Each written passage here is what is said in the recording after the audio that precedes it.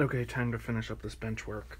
Um, basically, what I want to do next is down below, I want to add a shelf, which I have this piece here. It just needs to be cut to the appropriate length. The first step I have to do is put uh, cross braces and a back piece on.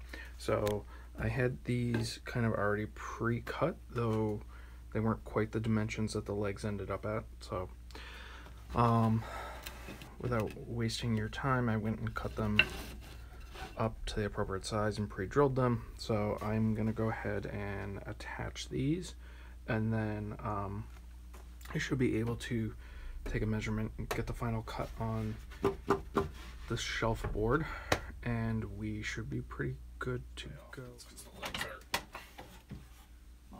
So I measured the distance based off the top. And what I'm going to do is make the back one the flesh one.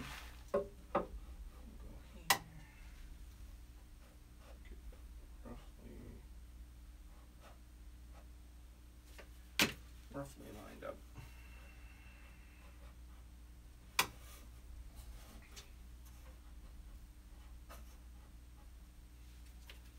And we'll do one of these.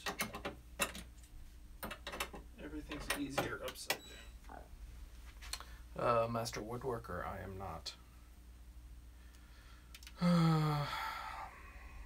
so,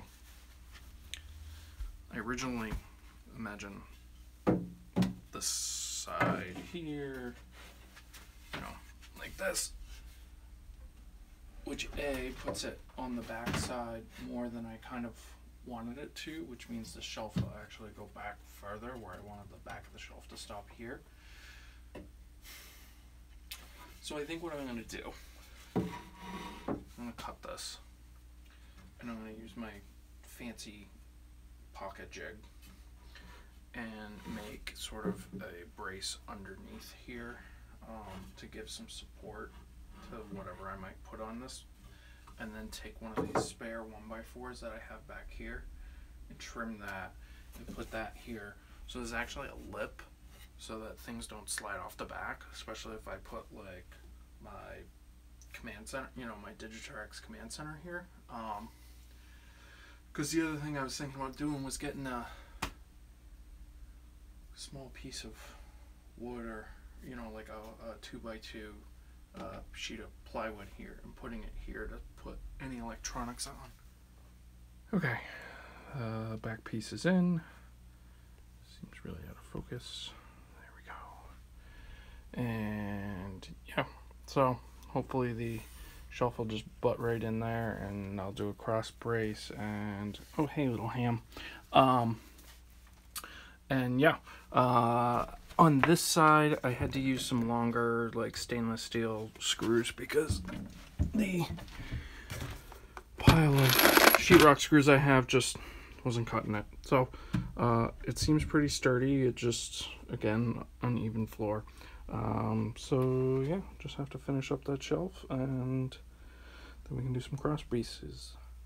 So I went ahead and cut this down to the length um, that I need for to create the under brace uh, for the shelf. And then I measured the depth of the shelf and you can see the line there uh, right about where's my finger? Right there um, and so I'm going to try to align this up. Now I don't know uh, what I'm going to try to do is make uh, pocket holes. So I've got this pocket hole jig which I bought to build a fence. And um, I don't know if you guys have ever used one of these, but it's pretty straightforward. Um, on the back of this, uh, let me see, you can see that it's set to three quarter uh, inch, and because that's the depth of my wood. And um, also, you move this little collar to the size three quarter because the other piece I'm drilling into is, I mean, it's also three quarter. Um, so what that will do is drill two pocket holes down and then I can screw them into into this. So I'm gonna go ahead and do that now. And then I just need to cut the shelf to length and mount it to the top. And then I think we're done.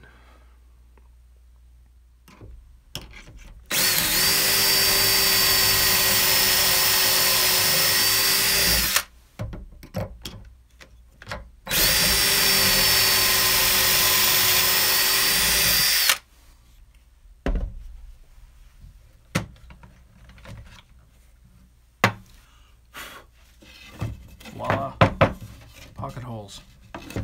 Um yep all right now I just have to mount it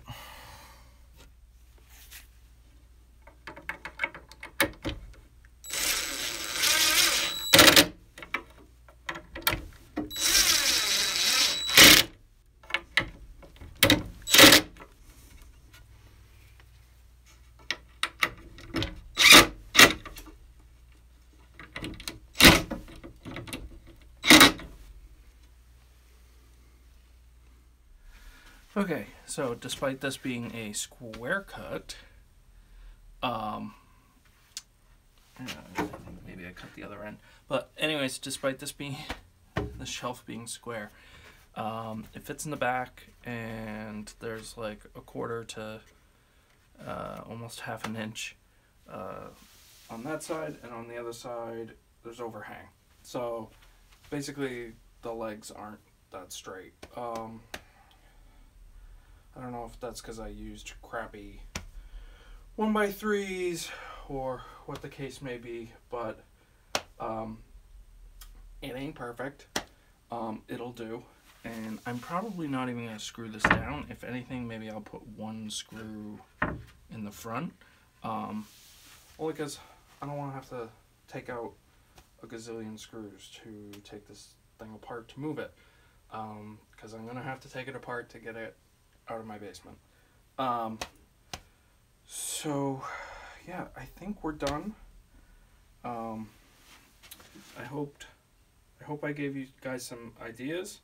Um, if you have any comments, please be nice about my woodworking. Um, be sure to leave them down below. Be sure to like the video and subscribe to the channel. Click the little bell so you get notified when I update. I try to update pretty regularly, once or twice a week. Um, so yeah, that's that's kind of the module. Here, I'll just